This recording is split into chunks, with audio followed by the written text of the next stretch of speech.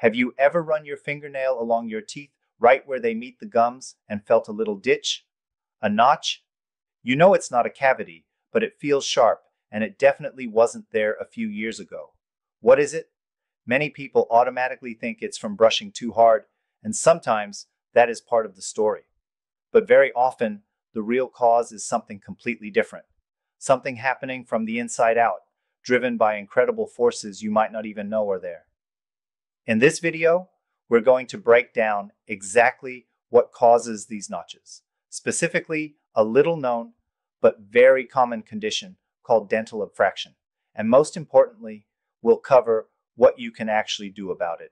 Before we dive into abfraction, it's important to understand that there are three main culprits that can cause these gum line lesions. Think of them as three different suspects in a mystery. The first, and most well known, is abrasion. This is exactly what it sounds like mechanical wear and tear. It's the classic brushing too hard scenario, especially with a hard bristled toothbrush and an aggressive back and forth scrubbing motion. Abrasion typically creates wide, shallow, rounded out scoops in the tooth. They look more like a smooth ditch that's been dug out over time. A quick tip here is to think of brushing as massaging your gums and teeth, not scrubbing a floor.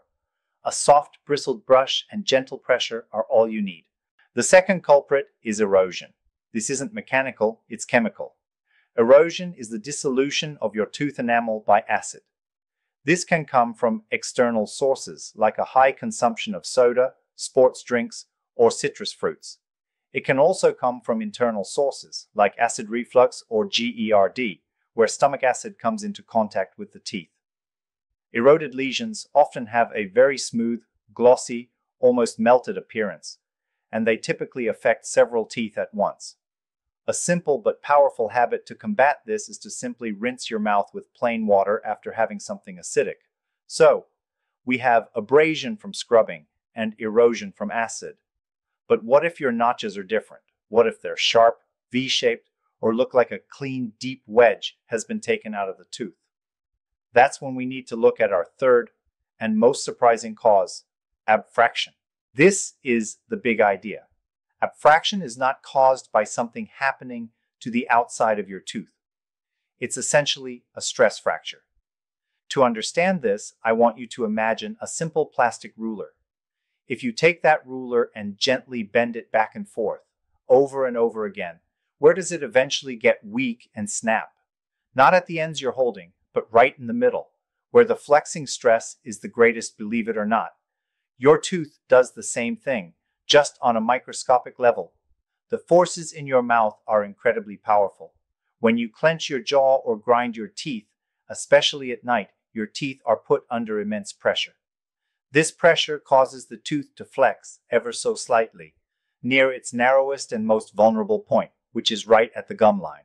This repeated microscopic flexing, night after night, year after year, puts the enamel and the underlying tooth structure under enormous strain. Just like the ruler, the crystalline structure of the enamel can't handle the tension, and tiny pieces begin to flake away or fracture off. That's where the word abfraction comes from. It's a fracture caused by abnormal stress. So, what's generating all this destructive force? There are two primary engines that drive abfraction. The first is bruxism, the clinical term for clenching and grinding your teeth. This is the big one. The average person exerts about 150 pounds of pressure per square inch when chewing. But a person who grinds their teeth at night can exert up to 1,000 pounds of pressure. That's a staggering amount of force. Many people have no idea they even do it because it happens while they're asleep. They might wake up with a sore jaw, headaches, or tired facial muscles, and not connect it to their teeth. The second major cause is malocclusion, which is just a fancy term for a bad bite. In an ideal bite, the forces of chewing and clenching are distributed evenly across all your teeth. But if your teeth are misaligned, crowded, or don't come together properly, one or two teeth might be taking on way more force than they were ever designed to handle. They become the first point of contact, the stress bearing heroes of your bite. And that concentrated off axis force makes those specific teeth flex much more, leading directly to abfraction. And this isn't just a cosmetic issue. That little notch you feel is a warning sign that your tooth is under stress and it can lead to some very real problems. The most immediate consequence for many people is sensitivity. The outer layer of your tooth is enamel, which is like a hard protective shell. Underneath that is a layer called dentin, which is much softer and has thousands of microscopic tubules that lead directly to the nerve in the center of the tooth. An abfraction lesion is a hole in that protective enamel shell. It exposes the dentin. That's why a breath of cold air, a sip of ice water, or eating something sweet can hit that spot and cause that sharp, unpleasant zing. The pathway to the nerve is wide open. Second, that notch creates an increased risk of decay. The V shape of an abfraction lesion is a perfect custom made hiding spot for plaque and bacteria. It's very difficult for the bristles of your toothbrush to get all the way down into that sharp angle to clean it effectively. The bacteria that sit there produce acid, and because the softer dentin is already exposed, a cavity can start and progress much more quickly in that spot. Of course, there are also the aesthetics. As the notches get deeper, they can become stained and look yellow or brown because the underlying dentin is naturally more yellow than enamel. It can also create the illusion that your gums are receding more than they actually are, making the teeth look longer and sometimes older. And finally, in severe and untreated cases, the tooth is structurally compromised. The notch is a significant weak point. This can, over a very long time, lead to a larger piece of the tooth actually fracturing off. Now, those consequences sound serious, and they are. In a moment, we are going to cover the professional treatments your dentist can offer to manage the forces causing this damage and repair the notches themselves.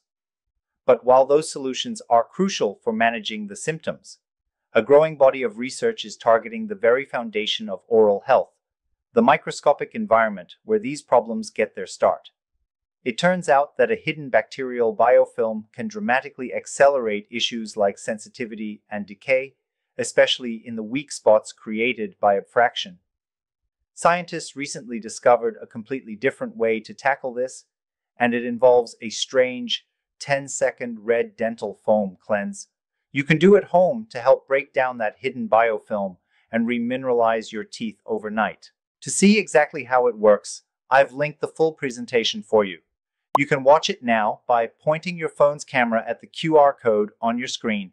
I've also pinned the link right at the top of the comments below this video. Alright, now let's talk about the essential professional solutions you can and should discuss with your dentist for abfraction. So now, for the most important part, what can you do about it? The great news is that this is a very treatable problem, and the solutions involve both professional treatment and at-home awareness. First and foremost, a professional diagnosis is key. Your dentist is the only one who can look at the shape of the lesions, analyze your bite, and ask the right questions to determine if the primary cause is abrasion, erosion, or abfraction. Very often, it's actually a combination of these factors working together. Once abfraction is identified as the main culprit, the goal is to treat the cause, not just the symptom. If the engine driving the problem is grinding, the most common and effective treatment is a custom made night guard. This is a device you wear while you sleep. It doesn't necessarily stop you from grinding, but it acts like a cushioned helmet or a shock absorber for your teeth. It separates them and distributes the immense forces, preventing the teeth from flexing and protecting them from further damage. If the cause is a bad bite, your dentist might recommend a procedure called an occlusal adjustment. This involves very subtly and precisely reshaping the biting surfaces of a few teeth to help distribute the force more evenly.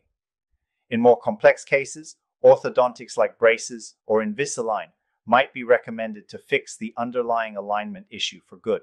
Now, what about repairing the damage that's already there?